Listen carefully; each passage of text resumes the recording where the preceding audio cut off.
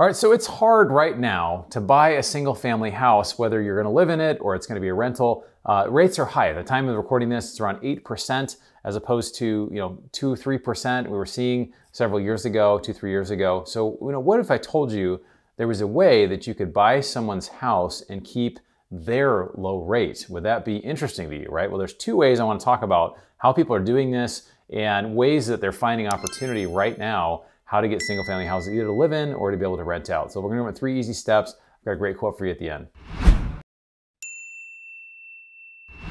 All right, so my name is Bronson Hill. I'm the CEO of Bronson Equity. We do multifamily properties like this. We also do ATM machines and car washes and oil and gas to help provide uh, investors with passive cash flow opportunities. So I'll have some opportunity on how you can join our investment club and hear about our deals in a minute.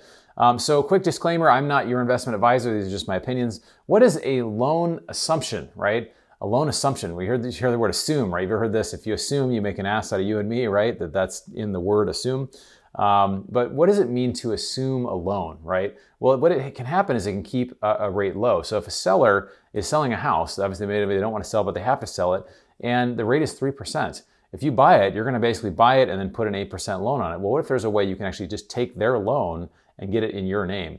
And there's two ways to do assumptions right now. There's two major ways that we're seeing, and these are ways that I'm going to get into kind of how it works. But the first is a uh, FHA or there's a VA loan. So FHA is like a first-time home buyer. Uh, you can typically only have one at a time. You, it's not even first time, but it's it's an FHA loan. There's also, um, and that's about 11% uh, of all loans in 2022 were FHA loans, right? So there's quite a few that are out there. And then a VA loan, which is a veteran's loan, it's about uh, 8% of all loans. So between those two, it's almost 20% are out there, one in five homes uh, nationally that are purchased through these type of loans. Now with a veteran loan, you can't, um, you don't have to be in the military. It's a military person. They can sell it to you and you can uh, assume that loan.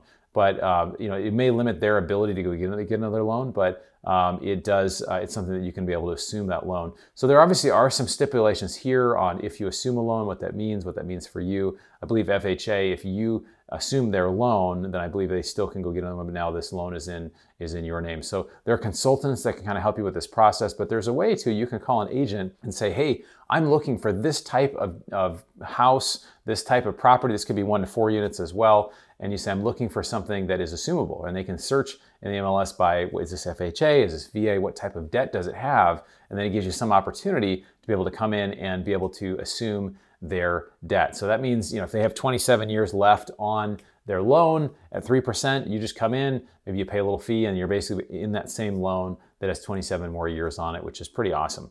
So that's one way is to actually physically assume the loan. There's another way that's called subject to financing, right? So subject to, uh, there's this book out here called uh, Wealth Without Cash. Uh, Pace Morby, this guy here, if you haven't met Pace, uh, very cool guy. But talks about what does it mean to be a subject to loan? Well, it's the same scenario. Someone's got a 3% loan and they sell the house. Let's say I buy the house, they sell the house to me, but with the loan, they keep the loan in their name, right? Well, why would they do that? Why would someone do that and why would be the benefit to you? Well, benefit to you is you keep the loan at the lower rate. The benefit to them is it's in their name. They just will have to trust that you're going to make those payments, right? So typically this involves using a special escrow company. They can kind of manage all that, making sure everything's there. There's certain things in the contract of how it's stipulated.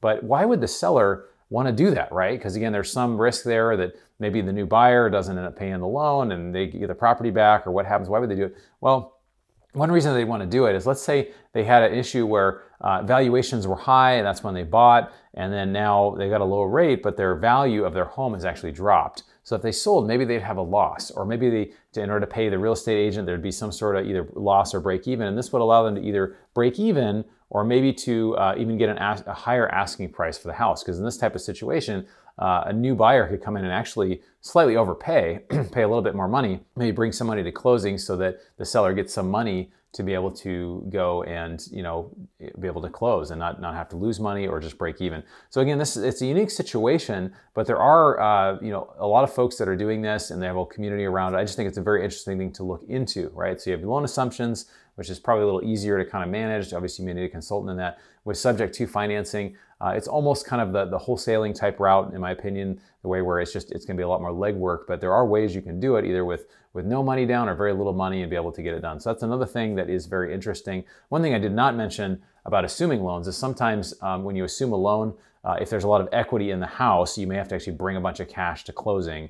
Um, so that is something just to be aware of as well. So for example, if the loan is a $700,000 loan, I'm speaking of LA because stuff's really expensive, and maybe the home is worth a million dollars, well, to, to assume that loan, the seller may want to have the difference, right? So you have to bring the 300,000 in closing. So there's, there are some caveats here, but there are also ways that having that lower interest rate uh, is incredibly valuable, right? The asset is not just the house, it's the debt because that controls the cost of money for the next 27 years or 30 years or 25 years, whatever that period is.